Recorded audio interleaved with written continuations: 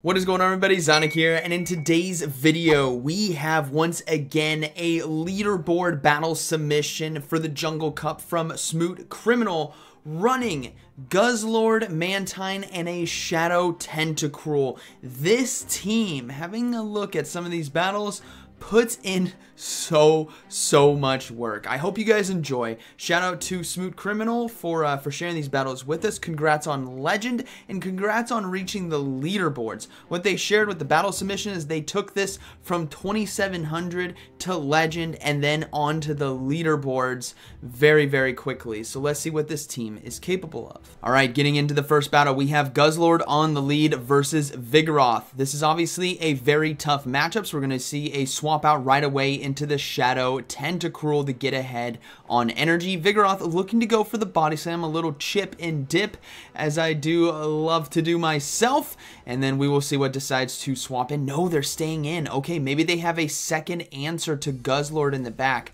So they're looking to go for the Scald right here. This is going to do quite a bit of neutral damage in the matchup. And we do see a shield there on the Vigoroth with the attack debuff as well. That is really nice. But this Vigoroth is loaded on energy. Double body slams are ready to go, so we will likely see a no-show. Yeah, the Tentacruel is just going to go ahead and let this go through. Mantine, most likely going to be coming in, but I wouldn't be surprised if Guzzlord comes in to go for a farm down, as the attack was debuffed. Yeah, Guzzlord's going to go ahead and come in. Body Slam's not going to be doing as much damage. Dragon Tail really still hurts in this matchup, so they can probably get three more Dragon Tails in, maybe four, yeah, definitely four, and they should be able to farm down. Now, this is a very interesting approach, as the reason why the Vigoroth didn't swap out is because they must have a second answer to Guzzlord in the back, so let's see what it's going to be.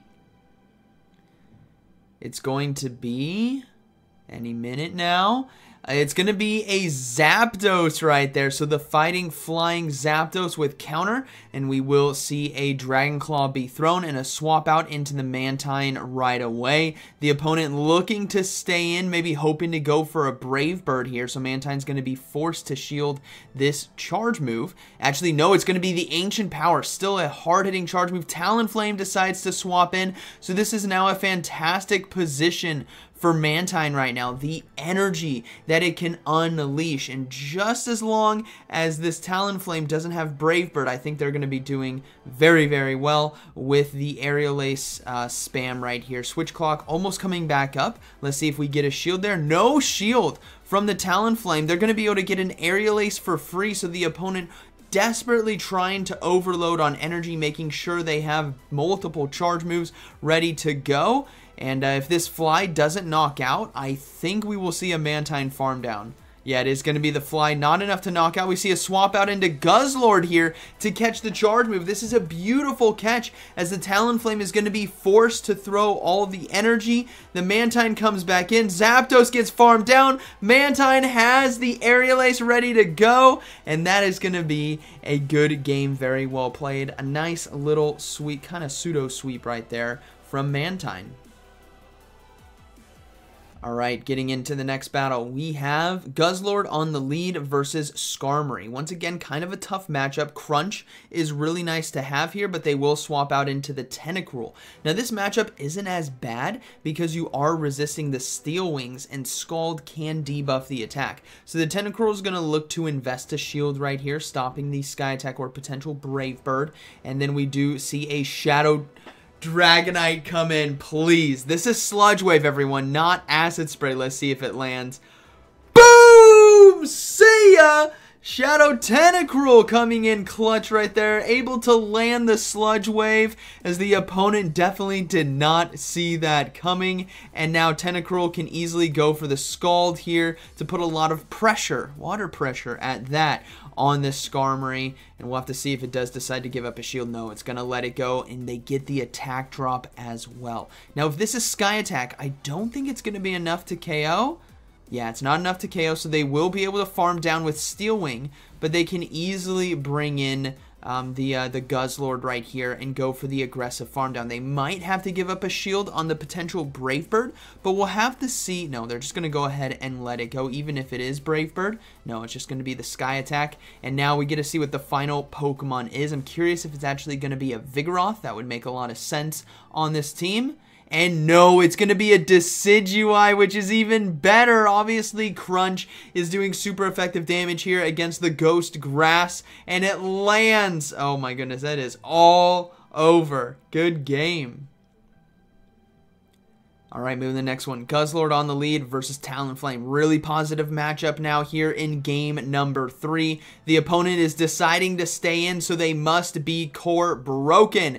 And if there is a Talonflame, I wouldn't be surprised if there is a Whiscash potentially as a core because of its ability to counteract a lot of the uh, the lanturns, right? We do see a shield there on the crunch. Guzzlord locked and loaded, but he's going to decide to shield right here as the Brave Bird or Fly, which is everyone's using Fly nowadays, right? The Fly is something you have to respect, and now they're looking to get two shields here from the Talonflame. Will they give it up? They do. Talonflame now completely out of shields. The counter swap into Tentacruel to try to catch the charge move. The Clodsire counter swap.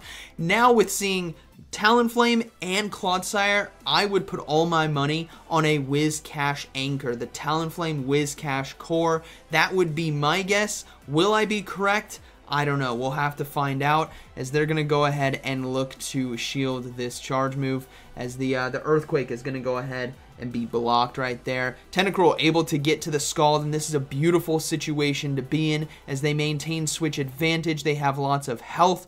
Guzzlord is still in the back at 50% HP, and no, it's a Trevenant! Even better! Trevenant is going to get absolutely shredded by this team. The wing attacks, the Dragon Tails, it is all over. Now, Talonflame Trevenant core does make a lot of sense as well, and we will see that Guzzlord look to come in, and the Talonflame counter swap is going to seal the deal as Guzzlord can easily tank this fly right here. We will see the swap out into Mantine to catch the next charge move, the aggressive farm down, and inevitably the aerial ace against the Trevenant to win this game. So that is going to be a good battle, very well played.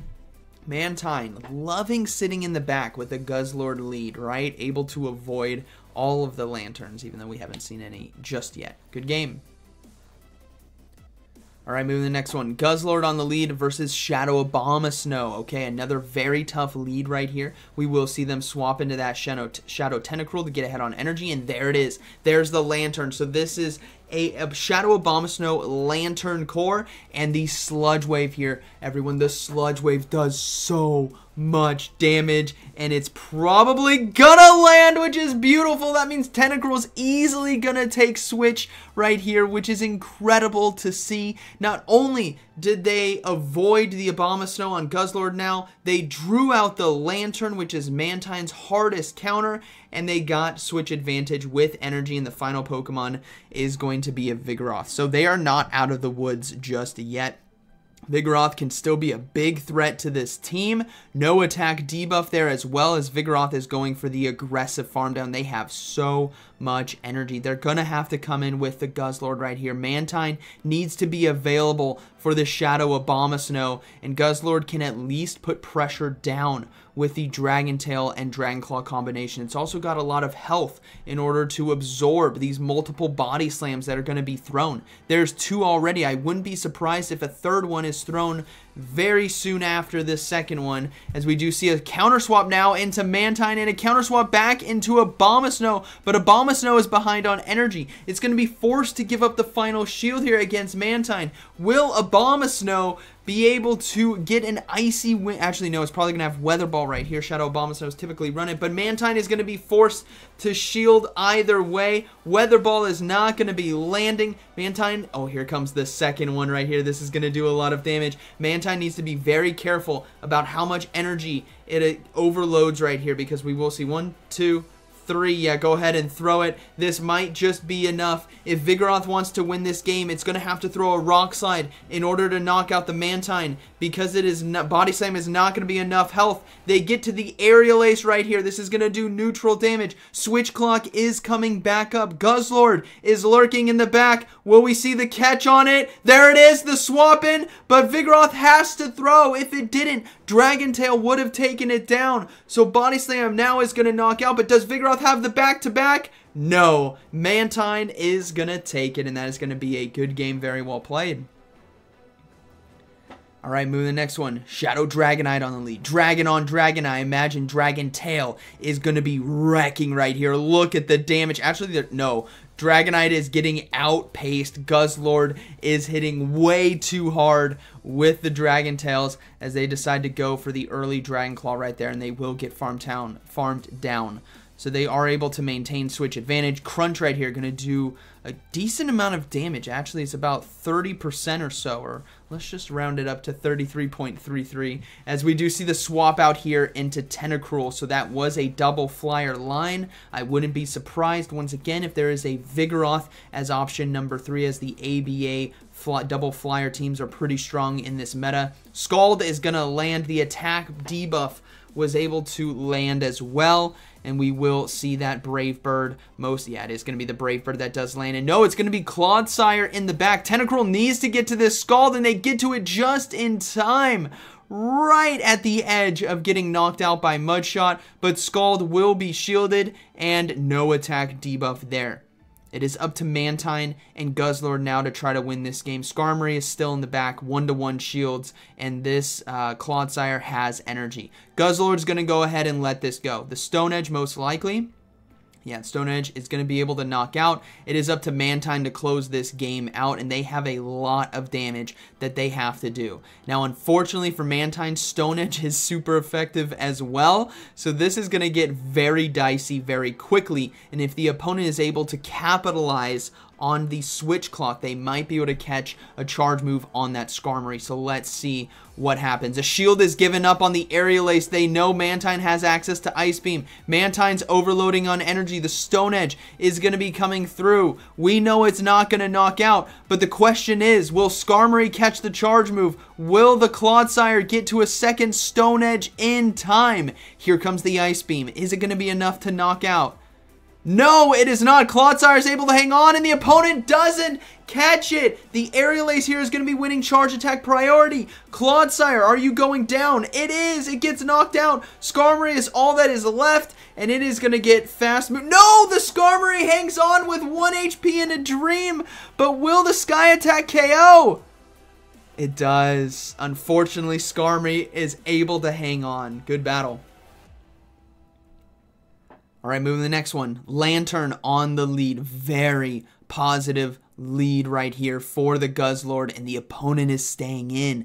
You know what this means. This means they are core broken. Always read what your opponent is doing and not doing. That will be a tell for what is on their team. If a Lanturn is facing off against Guzzlord with a defense drop and they are not swapping out, you can bet your biscuits that there is something else weak in the back. And sure enough, it is going to be Talonflame as we do see the counter swap here into Shadow Tentacruel, which can absolutely cook this Fire Flyer with the Poison Jab Scald combination. They will give up one shield on this first fly. They're going to be able to get two Poison Jabs through right here and then go for the Scald. This is obviously going to do super effective damage. Lanturn is far too low as well, so Talonflame is forced to shield. They desperately need to get rid of the Tentacruel, but Tentacruel says no. He is going to double shield right here and go for the aggressive farm down, which is a very strong... No, actually, okay.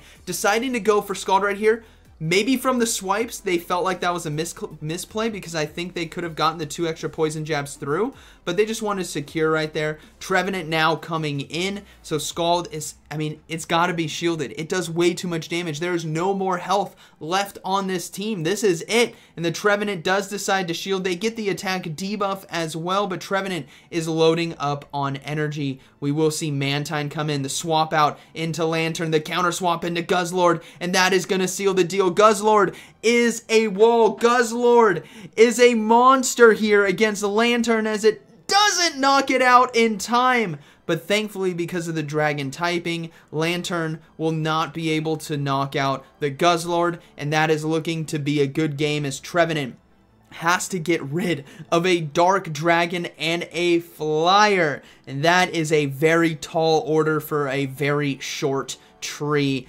I don't think it's up to the task, and they do decide to surrender. So that is going to be a good game. All right, moving to the next one. Mantine on the lead. Gotta watch out for the Ice Beam, but this is manageable. Let's see how they decide to play it. Dragon Tail and Dragon Claw is a beautiful combination. Crunch is strong as well. First charge move coming through is going to be shielded here by the Guzzlord. Is it going to be that Ice Beam? No, it was an Aerial Ace bait. They gotta overload on energy, anticipating a potential swap. They go on charge attack priority. They no shield, knowing that it is just an Aerial Ace. It was not enough energy for the Ice Beam. Crunch now, looking to come through, looking to chomp, looking to debuff right here, but will it be enough to KO? No, it is not. They will be able to counter swap though into Tentacruel, but not in time as the opponent is able to get one last aerial ace through. But that means the Mantine is out. What is going to be in the back? It's going to be a Decidueye. Decidueye does not like this team. There is Poison Jab. There is Scald. There is the Dragon Dark. There is the Flyer. This is a very tough... Look at that. You might have thought, there's the Scald. What do you mean there's the Scald? I mean the 60% damage Scald from a Shadow Tentacruel. Look at what it just did to that Decidueye's Frenzy Plant. Does knock out. Mantine could come in. Guzzlord could come in. What does he want energy on?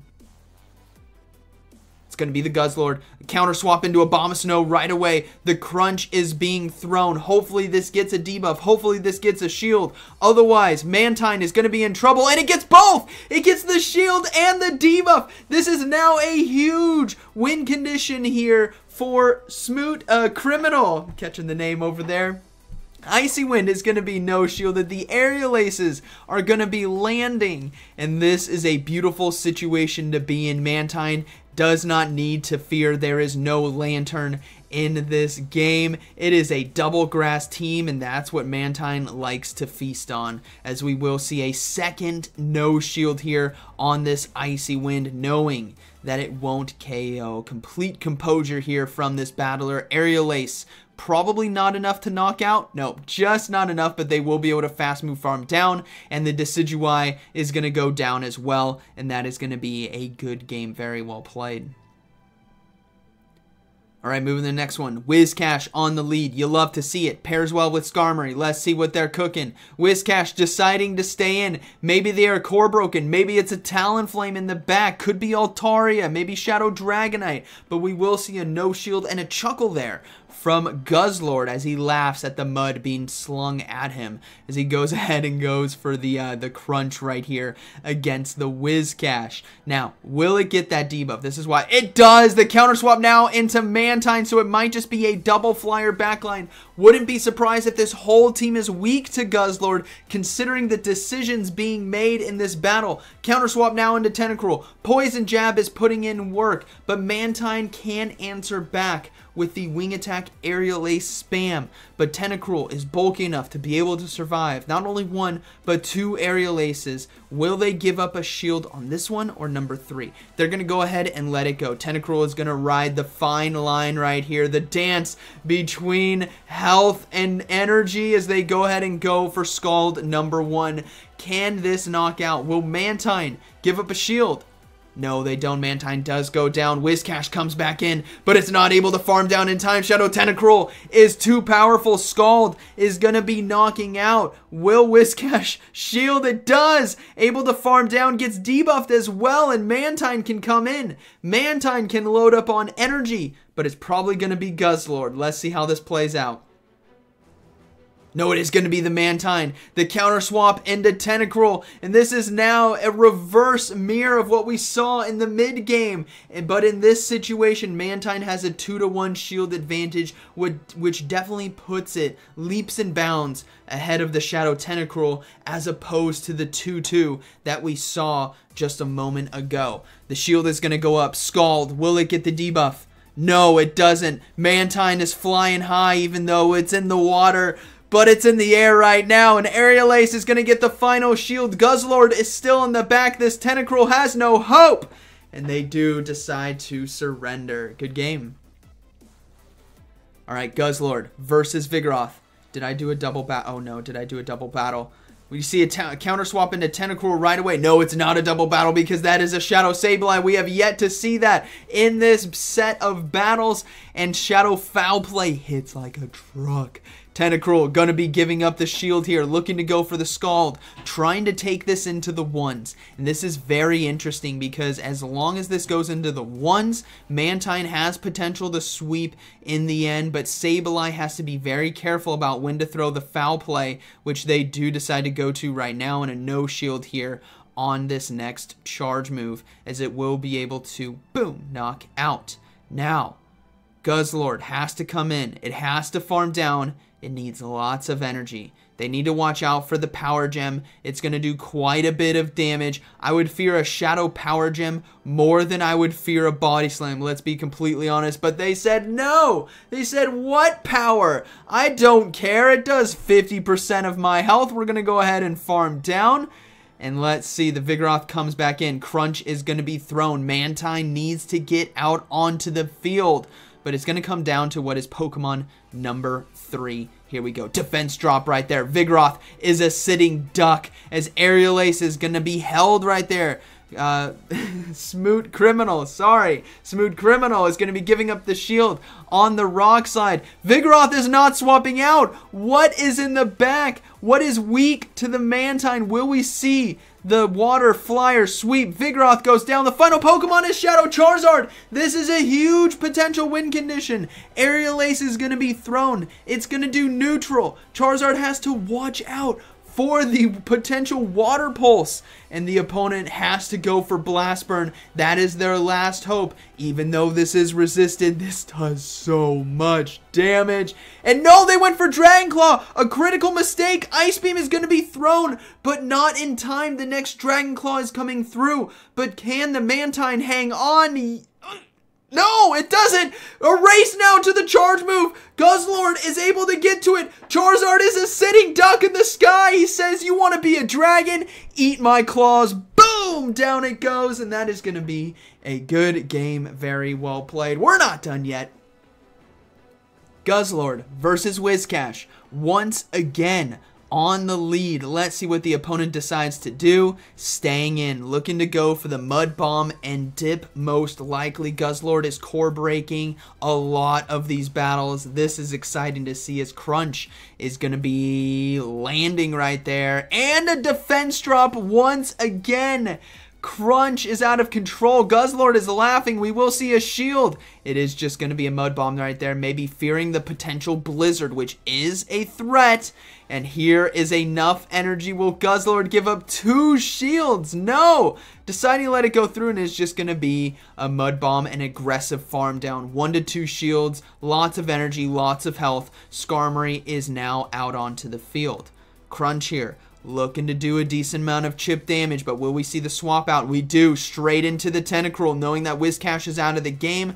That is likely the hardest counter, the Whiscash was, to the Tentacruel, so it is perfectly safe but what it is not safe from is a Brave Bird, and that is a good shield right there. No, there's a Lanturn in the back as well. This makes a lot of sense why the opponent stayed in with Whiscash. They were fearing the Lanturn versus Guzzlord matchup, but Tentacruel lands the Sludge Wave, a critical amount of damage there, because now Guzzlord can safely come in and farm down, and then we will see Mantine versus Skarmory to close this game out. Guzzlord in a great position. Guzzlord going for the farm down. It's going to be able to spam. We're going to see the crunch be thrown. The final or the first shield of this game will go up here on the Skarmory. Skarmory does decide to shield. Gets the debuff as well. This Guzzlord's out of control. Able to get to the Dragon Claw right here. And now they need to get into this Mantine. This is such a critical moment because Mantine has to survive a Brave Bird and it needs to land an Aerial Ace because air, uh, the Ice Beam will not be... It'll take too long. I think it'll take too long. Sky Attack was thrown instead. Now they got a race. Do they get there in time? They do. This Ice Beam is going to be enough to KO, and that is going to be a good game. Boom. Very well played. Was that the last one? No, we got one more. All right. Moving into the final battle, we have Guzzlord versus Whiscash. Once again, Guzzlord is hunting, Guzzlord is fishing, the daddy Cash is stuck on dry land, and it is once again core broken by the Guzzlord. This makes me want to run Guzzlord now on my team after watching these battles. We're going to see the Mud Bomb land. Whiscash is staying in. Crunch is now being thrown. You got a question. What is back there? Is it a Talonflame? Is it a Lanturn? Something is weak to Guzzlord. And it, another defense drop. This Guzzlord is out of control. As we will see one shield be given up to maintain a lot of health. And an aggressive farm down is able to happen. And it's going to be Vigoroth coming in. A Crunch is going to be thrown. The counter swap into the Tentacruel is about to happen. Here we go. It is out onto the field. Vigoroth in a tough position. Body slams will hurt, but Poison Jab does more as the opponent now is going to be looking to go for Body Slam number one, and they are very close to Body Slam number two. So this Tentacruel needs to be careful. Scald's thrown right away. Great call right here. Got to put that water pressure back on the Vigoroth. Need to get yourself the one-to-one -one shield, and they do. No debuff. Second Body Slam coming through. Tentacruel is going to let it go. It is going to be up to Mantine to try to win this game. But Poison, it's going to be a Talonflame in the back. They were core broken.